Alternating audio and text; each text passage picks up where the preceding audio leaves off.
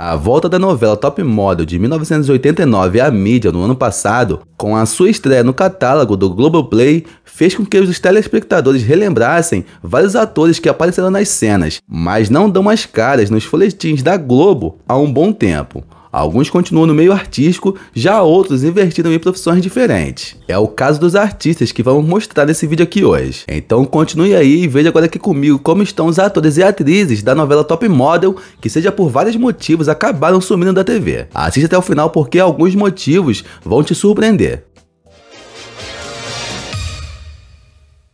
Então, galera, eu sou o Diogo e em nosso canal você vai encontrar várias curiosidades do mundo dos famosos, notícias, casos criminais, entre outras coisas. Então já deixa seu like aí, se inscreve no canal, ativa o sininho de notificações para não perder nossos próximos vídeos. E a palavrinha-chave de hoje vai ser essa daqui que tá aparecendo aqui no vídeo, hein? Lembrando que quem comentar, eu vou deixar um coraçãozinho e talvez um comentário, hein? Então é isso, bora lá!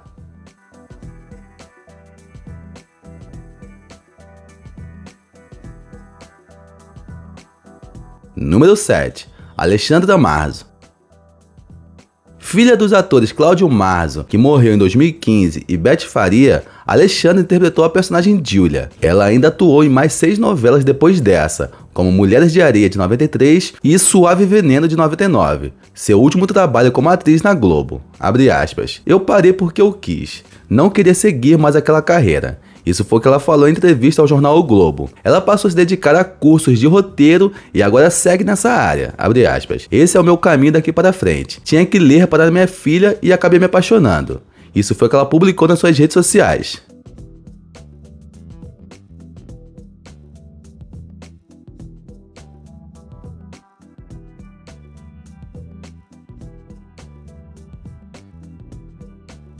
Número 6. Henrique Farias. Em Top Model, ele fazia parte da grande família de Gaspar, no papel do garoto Ringo Starr. Atuou em outras novelas como Vamp de 91 e Olho no Olho de 93, mas a sua vida teve uma reviravolta. Aos 19 anos, Farias se tornou pai e entendeu que precisava buscar mais estabilidade para criar o filho. Ele então deixou de lado a carreira de ator, estudou direito e trabalha como advogado trabalhista.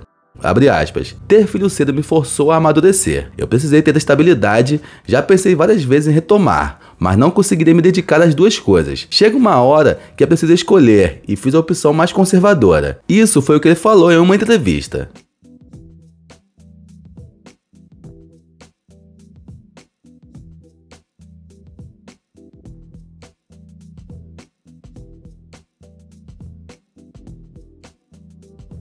Número 5.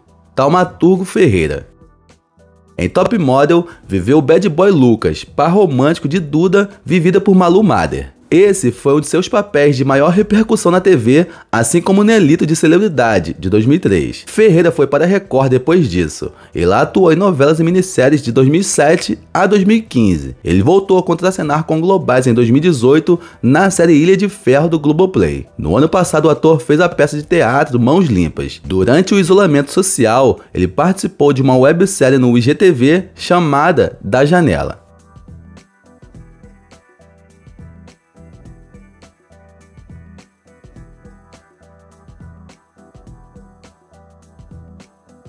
Número 4. Carol Machado. Ela fez sua estreia em Top Model como Jenny Fonda, filha de Gaspar. Também se destacou em Vamp como Dorothy. Carol Machado seguiu atuando em novelas e séries da Globo desde então, e o seu último papel foi no seriado Odeio Segunda, de 2015 do GNT. Ela continua ligada ao meio artístico e hoje também é professora de yoga.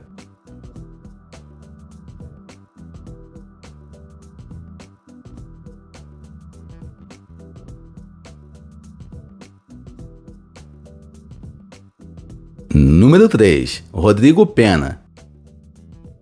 Também parte do elenco jovem de Top Model, Rodrigo Pena interpretou Alex Kundera na novela. Ao longo dos anos 90 e 2000, ele seguiu atuando em diversas produções da Globo, como Vamp, Malhação, Sob Nova Direção e Paraíso Tropical.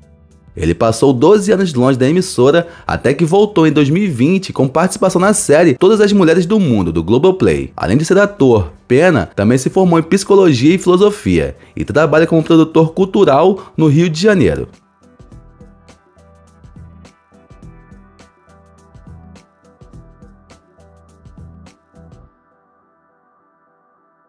Número 2. Suzy Rego Segundo lugar no concurso Miss Brasil de 1984, Suzy Rego estava começando sua carreira como atriz em 89, quando interpretou uma modelo bem-sucedida em Top Model. Ela se destacou em outros papéis na Globo e ganhou fama ao longo dos anos. Personagens em folhetins como A Viagem de 94 e Império de 2014. Atuou também em dramas do SBT e da Band. Além de fazer eventuais propagandas no Instagram, Suzy tem um papel na série Juacas do Disney Channel, que estreou em 2017.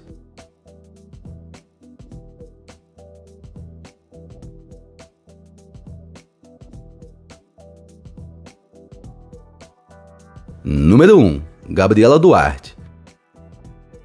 A filha de Regina Duarte participou de dezenas de produções da Globo após Top Model, como Por Amor de 97, Chiquinha Gonzaga de 99, América de 2005 e Sete Pecados de 2007. Depois de ter destaque em Passione de 2011, Gabriela engravidou de seu segundo filho. Desde então passou a priorizar a família e a viver nos Estados Unidos com o marido, o fotógrafo Jairo Godefluz, e os filhos. O trabalho mais recente dela na TV foi em Orgulho e Paixão de 2018. A atriz tem passado as últimas semanas no Brasil de volta.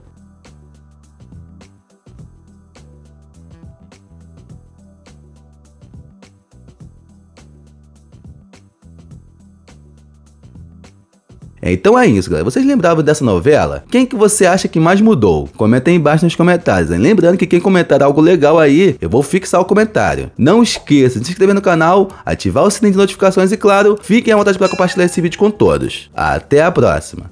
Fui!